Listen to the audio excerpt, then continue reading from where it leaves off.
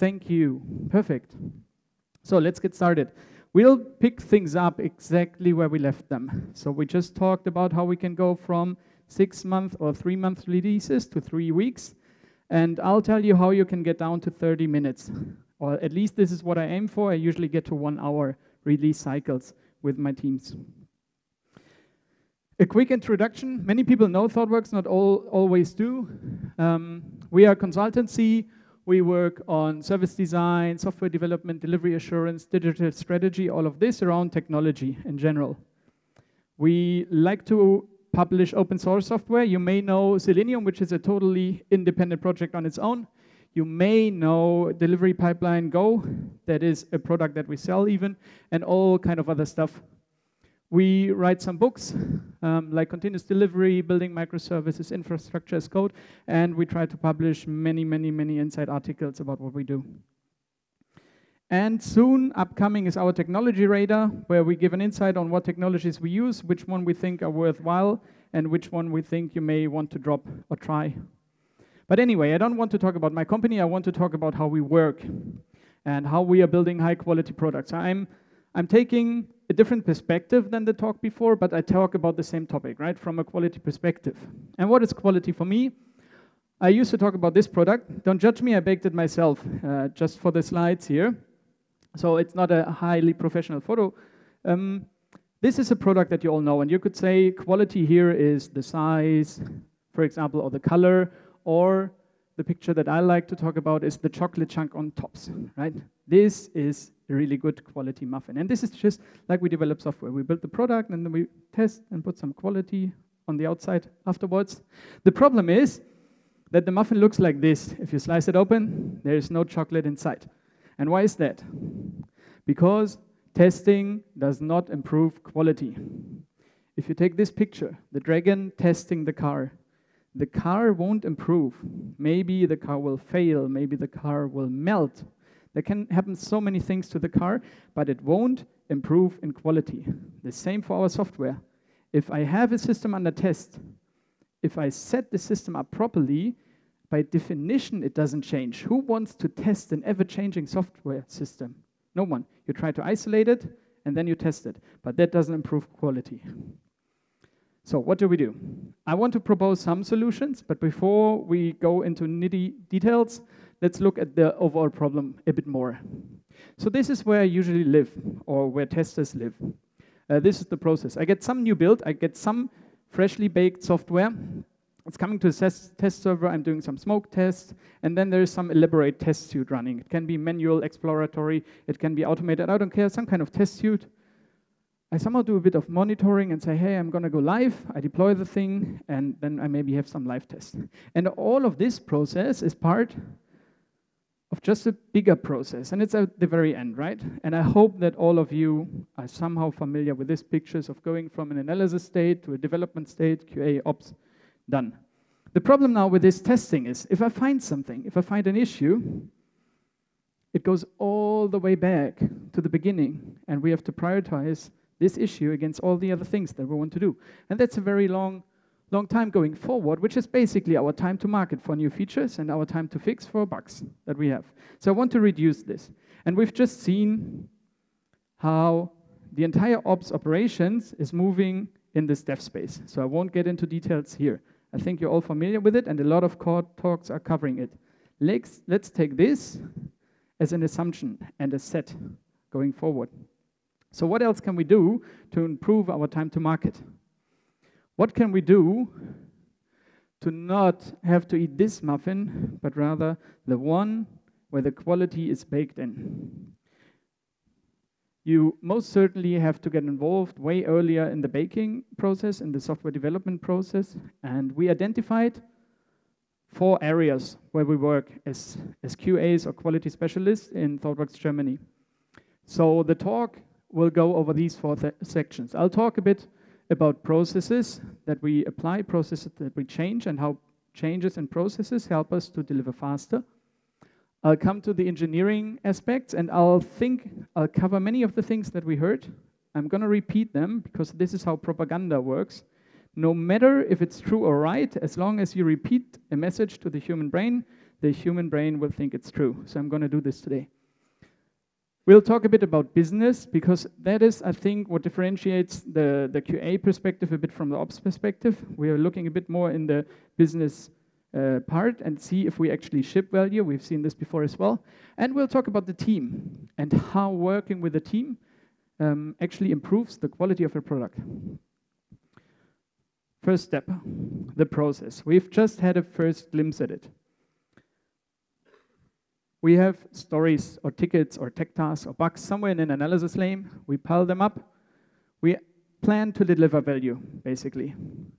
In the next column, which is very often a sprint backlog, the stories lie around, and we are basically wasting time.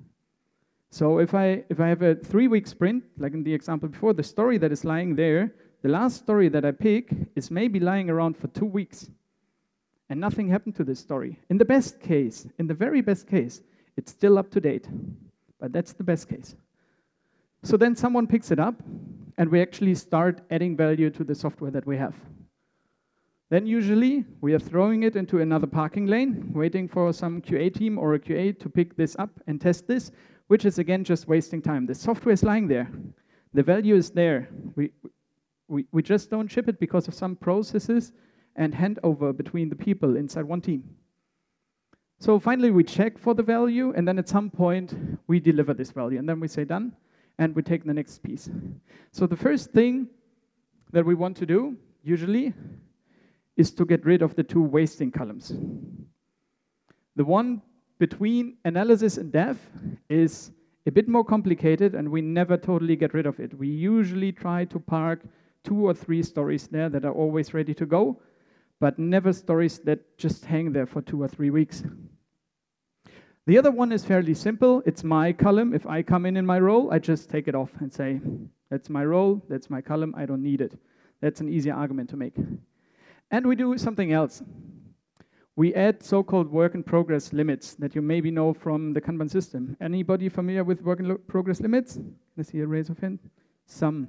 Okay, then I'll explain a bit more. The idea is that you limit the amount of work that you currently do. That means in, in my team right now, where I'm on right now, the project I'm on, we don't have more than three tickets in play at the same time. No matter if it's stories, bugs, tech debt that we play, just three things, nothing more, with a team of six developers. What's the benefit if you, if you, especially if you get rid of the parking lanes and you just pull in tickets as they are finished? You land with something like this on your wall, right? Too many things on the wall, nothing really moves forward. What you want is flow. You want things to move along. They may move slower, but as soon as you have some issues, it's not a major problem, right? Because all the things can still move along. In another way, you focus on fewer things to achieve more. It's a bit counterintuitive. So I brought some facts. One of the projects I was on, one of the teams that I visited, um, was at Metro, which is a whole. Who knows Metro? Before I talk about Metro all the time. Okay, I don't need to talk about Metro. Excellent. Um, so this is our cycle time. The amount of days a story needed until it got done. And we started somewhere around five days, and then we got worse and worse and worse until we were somewhere around 12 days that we needed to finish the story. And here it's almost 15, 15 days. One of these data points is one single story. And then you can some, see some moving average here. And after a few months, when this, this is, I mean, way too slow, three weeks for one story, that, that, that couldn't be right. So we implied these, or we, we did these work in progress limits. And what happened Ooh, that was too quick. What happens was this a huge drop from one day to the other. We reduced the things that we were doing at the same time, so we were doing the individual thing way, way faster and much more efficient. Counterintuitive. So we tried it again, right? This could be an accident. The project where I'm still on, this is from last year. So we started last year in winter, and we had we are, we are working for a, one of the old traditional German motor companies. I unfortunately can't tell you which one exactly, but I think there are four, so one of them. Um, and there was the International Automobile Exhibition, and we had to deliver to this state a certain set of features. That was the agreed scope up here. And then we were counting our velocity in stories, stories done. So we don't waste our time estimating how much complexity a story has. We are just looking into approximately sizing the stories in the, in the same way, just some sanity checks. And then we count the stories that we do, because on average, on huge numbers, this will be the same as, as much more exact story um, numbers. And if you look at this, it's not very difficult to tell, judging by the velocity, but it wasn't hard to tell at the time that we won't reach the scope that we wanted to. So on one day, we just said, okay, let's implement the work in progress limits again. They worked so very well last time. Let's try them again and see what happens. And from one day to the other, our velocity went up and we achieved much more and could put some scope on top. Just because we did less things at the same time in order to do more things in the long run. A bit counterintuitive, but if you think how you can focus better, can you get better focus on one task at the same time or on three tasks at the same time? So much for the processes. Processes are a bit boring, so I put them in the beginning. When I then look at my wall, I still have my in QA column. I'm still a lonely fighter. I don't want that. I want to work with the other team members. So if I want to move left, I'll move left.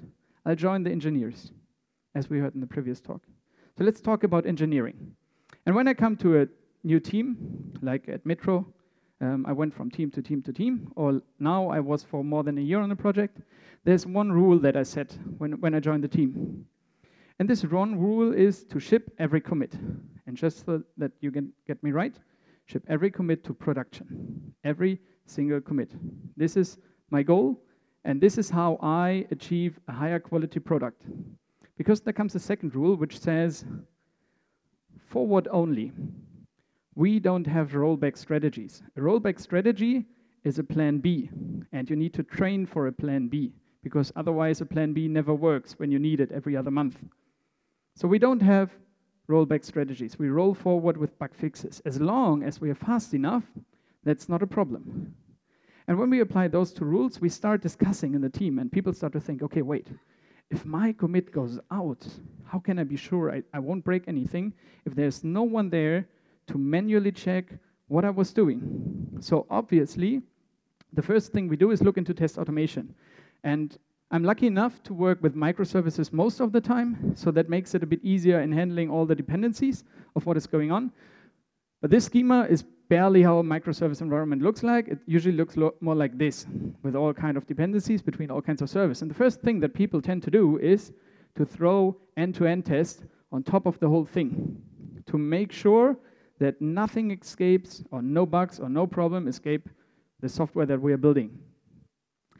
I always say, don't do that. I argue against it basically every single day.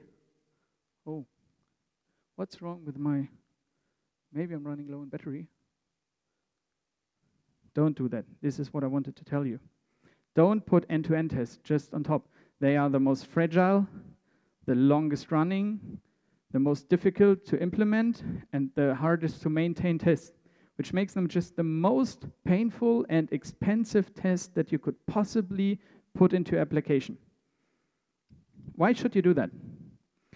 What you can do instead is to test every single of those services, every single unit, if you want. It's, it's not unit test as testing single functions in your code. It's testing the single units, the single services. And then you start testing the interaction between the, between the services. We, we just talked about it here, about the dependencies of the services. So you want to have proper contracts between the services, to not be too dependent on, on versions or uh, content that other services have. And you want to test this. And we apply consumer-driven contracts for all of these interaction between the services. I won't go into consumer-driven contract testing because I think that can alone fill 20 minutes of a talk. So if you're interested, just talk to me later. This is much, much, much more difficult than the other one. Um, so people tend to just put end-to-end tests because it's the easier concept. Just boom, on top, done. You may want to add the thinnest layer of an end-to-end, -end, like a Selenium test on top of that, but I don't even do this anymore. So I really talk a lot also to other, other QAs on the projects um, that we don't put end-to-end functional front-end tests on top of the services. Most of the backend, most of the logic lives in the backend. So why should I test edge cases and business logic in the front end? I advocate for nothing but the testing pyramid, which is then half of my job inside the team every day. We have also already talked about feature toggles. And here it becomes much, much more important. If you ship every single commit all the time, not every single commit is a feature on its own. Obviously not. You should commit multiple times a day, not after three weeks. So you need feature toggles because you can't show unfinished things uh, somewhere in your product and you have to get everything ready, everything right, then you can test it properly and then you can ship it. There's another benefit, it's maybe even the bigger benefit. You decouple the risk of a deployment with the risk of a feature release. So deployment is um, putting a container somewhere, restarting a server somewhere, migrating something on the database. This has all risks. And then when you release a feature, you have a release, you have a risk of not having thought about edge cases when you enter data. You have a risk of having done caching wrong. There are all kinds of risks there. And if you deploy and deploy and deploy, deploy all the time, all the time, all the time, that risk is gone as soon as you want to release a feature because that was already handled. The deployment is long gone. And then some days later, maybe, when all people are informed, when the product owners are ready, they say, okay, now we can flip the toggle or the feature flag. Does, if anyone knows why they are sometimes called feature flags and toggles, and which one is right, please tell me. I always refer to them as feature toggles because it sounds more intuitive, but I hear more people talking about feature flags. Anyway, at some point the product owner is ready and says, now we can toggle it on, and then you release only the feature with all, without all the risk of a deployment. And this is then interesting for me, again, from a quality perspective, mitigating risks for releases. And we came across this as well, monitoring is so important. If you don't know what is going on in your application, how do you want to roll forward, roll forward, roll forward? How do you want to know where you have to fix a bug right away? How do you know that you have to react right now? How do you know if something went out that is bad when you don't even see or don't even acknowledge it's being deployed because it's all automatic and every day and every hour and business as usual. So we have a lot of monitoring, we spend a lot of thought, and it's really interesting to have the team or drive a discussion inside the team where everybody's engaged, thinking about what we could measure. Measure the errors, we measure the hits on the database, we measure the response time of our backend services, we measure the load time of our front end, and maybe we want to measure business values. And then the entire team is engaged, thinking about performance, thinking about health of the system, thinking about business value of the system, just because you start talking about monitoring. Is this any good? All of what I've told you. So we've been at Otto. Ah, Otto. Do you know Otto? Can I see a raise of hand? Most of the people. Cool. Then I won't get into detail there as well. So I, I recently heard, without telling anyone I was there, just some person randomly mentioning that Otto is the German Netflix. I don't know if I want to go that far, but they have by now like 300 plus microservices running very redundant, very reliable system. And I was there somewhere early 2015. And this, what you see here, is the number of deployments that they did per week across, I don't know, 14, 15 feature teams. And you can see a little kink here. That was the first two teams starting with this new microservice. It was a new thing at the time, right? So they were deploying more and more often. Um, and we had a very, very traditional QA department that said we have to test everything and you can't just release. And we ignored them and did it anyway. And in order to check our bag, we, we had a look at the errors that we had. So the customer-facing errors, as they called them, where really things were gone from the website or where we, where we had offsite as a whole product. And we deployed and deployed, deployed, and we, we enabled ourselves to do continuous deployments, all automatic, all the test automatics, no human interaction. And the errors went down the same rate the deployments went up because we were much faster to react on issues. We were much more conscious about what we would commit in the first place. Every commit is valuable, every commit is tested, and we had much less errors. This is from end of 2016, so I, I checked with my friends at Otto and got the latest numbers, and they are now somewhere up at 4,000 deploys per week. Um, so this is an insanely well scaling concept, process, and methodology. And I'm not even talking about the tooling here. So you can go to the Otto blog and get all the tooling that they use for it, and you can use any other tool. It's totally independent of the tool, it's totally independent of your pipeline, it's totally independent of your testing framework. I'm just talking about mindset, culture, and concepts here. Cool. So we got the engineering part covered. We're shipping more features faster, but what do we actually ship? And this is where I then can totally dissolve my column where people would park stories for me to do and move to the analysis space. So we have business analysts, we call them business analysts, the people who work in this column, because the product owners are most often from our client, and um, we don't have product managers per se because we don't follow the Scrum methodology too much. So we just call them business analysts. And then we can work with them and talk about business. So what is quality here very often? Quality is a value to some person, is what Gerald Weinberg said. You could also say quality is value to some important person. Ever had a hippo in your in your team or a, a meeting where where it went all down to the opinion of the highest paid person's opinion, right? Those are the people that sometimes make the call. I don't know why. I don't know what enables them to make a better decision, how we can bring value to our users. Just because they get paid more? No. So you can fight against this carefully. You can talk about what is actually value to our users. This may be very different depending on in what part of the world you are, what product you are building, for whom you are building it. Very, very different. Think about what is the actual value that I can bring my users. And then think about how every single commit can have bit and tiny piece of that value. Don't commit if you don't have value in your commit. Why should you commit? Why should you run all the tests? Why should you trigger the pipeline if there's no value? That are very, very interesting discussions that you can have then in a pair of developers or working with developers, working amongst yourselves. So, in the same way as ops and dev somehow move together, we can also see the QA and the BA moving together and the whole thing getting much, much closer. So we are sitting on the same table, literally.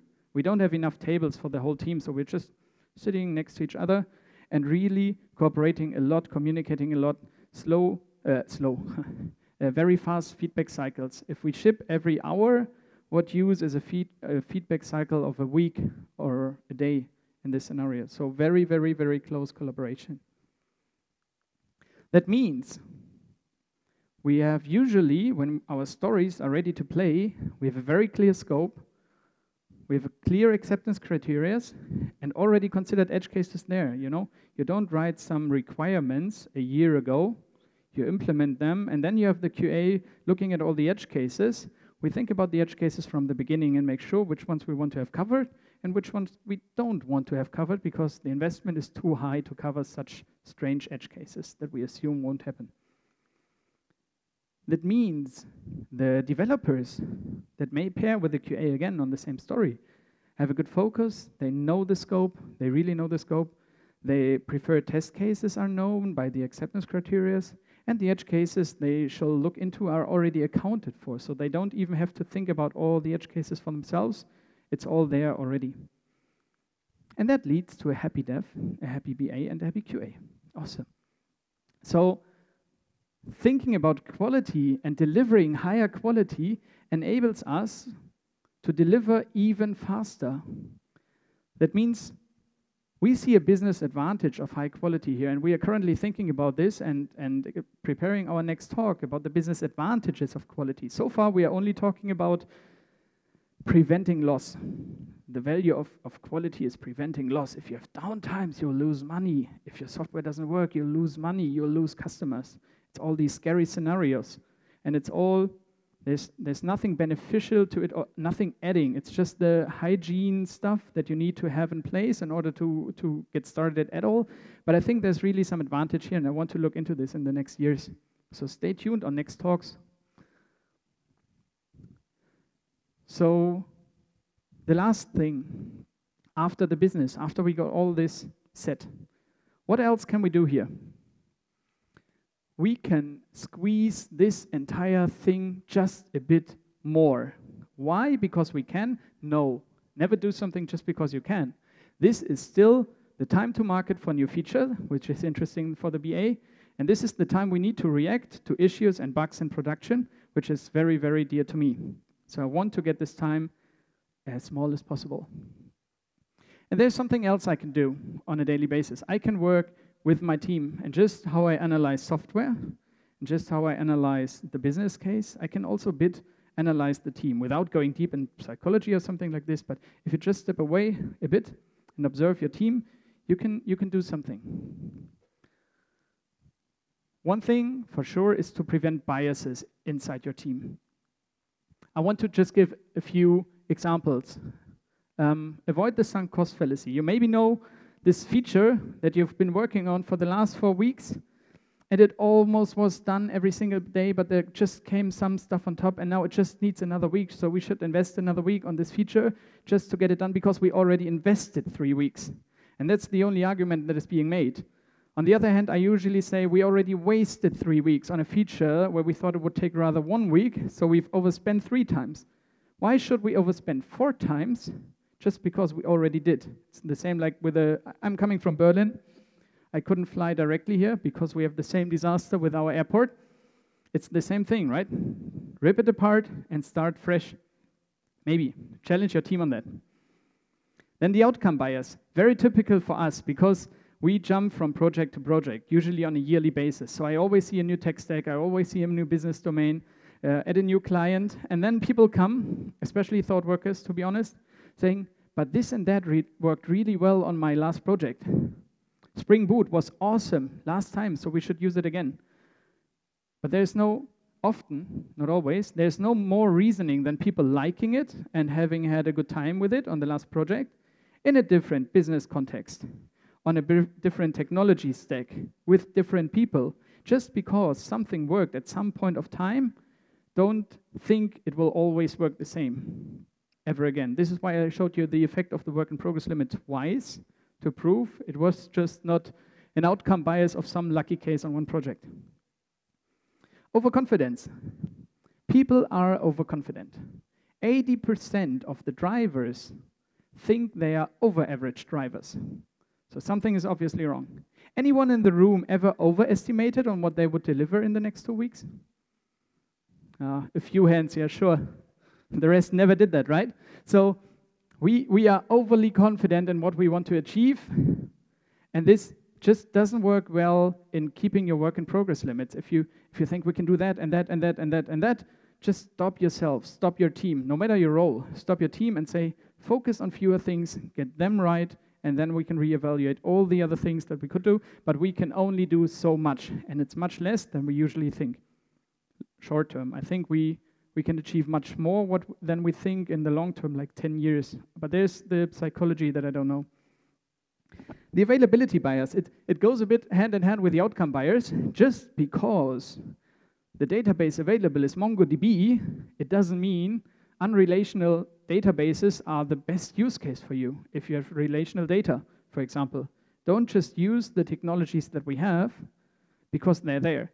Would you use a map of Vienna here in Linz? No, obviously not. Not just because it's there, it doesn't help you. And the last one, I think sometimes the most important one, at least for me, is the social proof bias. So this comes from 20,000 years ago, right? When you were together in your small village and you were going hunting in the woods, and then all the people ran away and were scared of something.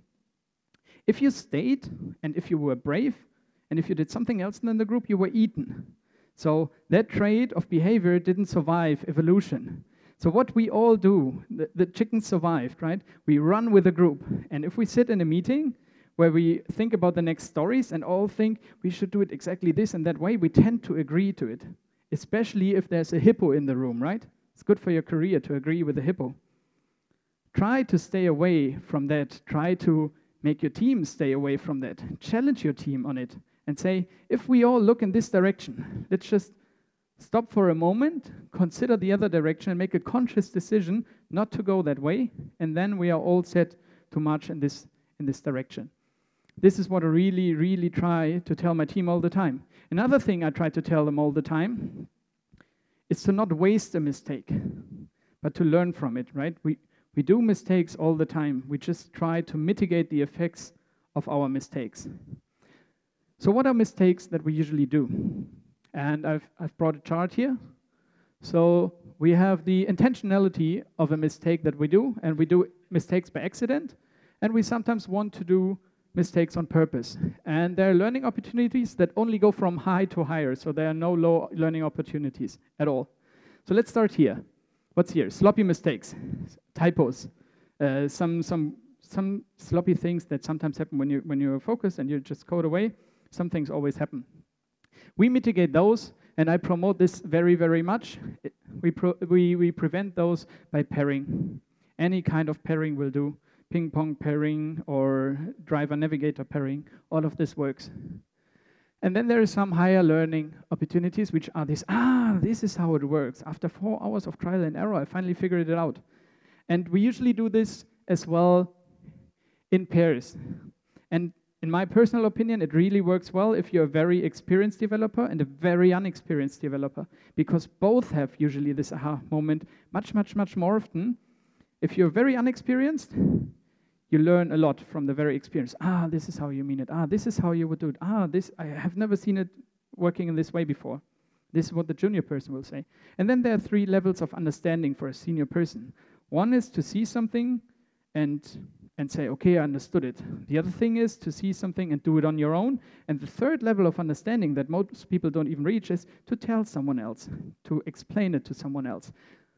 And you have to do this in such a pair. And then you will understand anything that you talk about even more. And then you have stretch mistakes. You usually, sometimes you, you enter a range or a business domain or a technology that you do not yet understand. If you want to apply new technology and you don't know how to do it, that's what I call the stretch mistakes, where you really have to try and you really have to be careful. And we do this in so-called spikes. So we differentiate. If, if we want to try a new technology, for example, a new database technology, for just for the, for the sake of the argument, um, we have a little spike and we say we want to time box it to three days. And we have clear criteria of what we want to learn inside this spike. And after two people working on it and trying for three days, they come back to the team and say, okay, we learned all of this. We think this spike is done, and we think we can apply the technology, or we can throw it away and try something else. In any case, what comes out here is only a prototype to be trashed, right? And then there are the high stakes mistakes. Something just really crazy and dangerous because it's a last minute release. That should ring your alarm bell. Just try to avoid it as much as you can. You, you never always can avoid it, but if you can, just stay away from it. Something that I'm applying all the way here with this pairing and the, the spikes that we do is the safety net that we have. So we are very consequent in test-driven development, another thing that I promote every day, all the day. So we have a lot of tests that help us to um, make these mistakes. And then the last few things about what you can do with your team, what I think is really important. Diversity and inclusiveness. If you don't know the difference, look it up. It's, it's really, diversity is I, in, I invite all kinds of people to my barbecue. Inclusiveness is that I have steak, that have vegetarian options, that have gluten-free options, and that have some vegan options for the people that are coming to my barbecue.